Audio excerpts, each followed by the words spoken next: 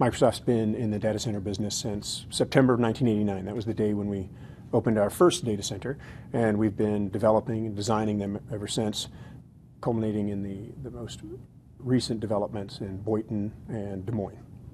So there are three key pieces to our data center strategy growth, efficiency, and trust. In terms of growth, it's about providing our infrastructure on time when the business demands it. In terms of efficiency, it's about operating our data centers as efficiently as we possibly can. And in terms of trust, it's about ensuring that the performance, the reliability, and the security that our customers need is always there. The modular approach is very important for us for a number of reasons. One is it gives us the ability to provide data center infrastructure in a just-in-time approach rather than spending years developing the data centers.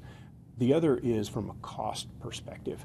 It is much more affordable for us to leverage assembly line approaches in developing the components to a data center than assembling them on site rather than collecting hundreds, sometimes thousands of construction workers in remote locations around the world to build a custom point solution.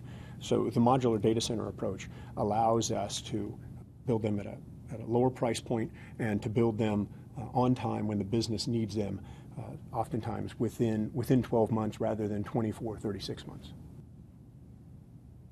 The first thing that we do to ensure that we deliver reliable online services is we invest in the world's greatest talent and technology in our extensive content distribution, data center, and dark fiber network. The second thing that we do is we establish site up availability and reliability as our first priority above all else.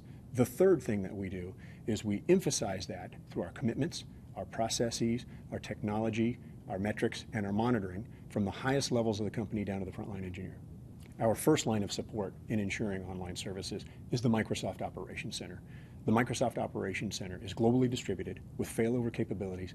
It's staffed 24 7, 365 with engineers capable of responding to issues as soon as they occur.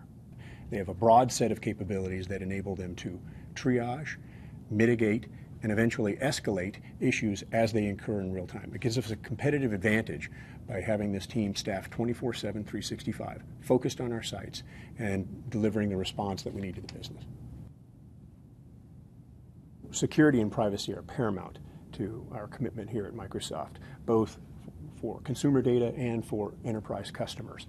We have a number of different certifications, the ISO certification, or ISO 27001 certification that is, the SAS 70 Type 1 and Type 2 attestations, our HIPAA conformance, our SOX compliance, and most recently, our FISMA certification. Customers can be assured that their data is safe in the Microsoft cloud.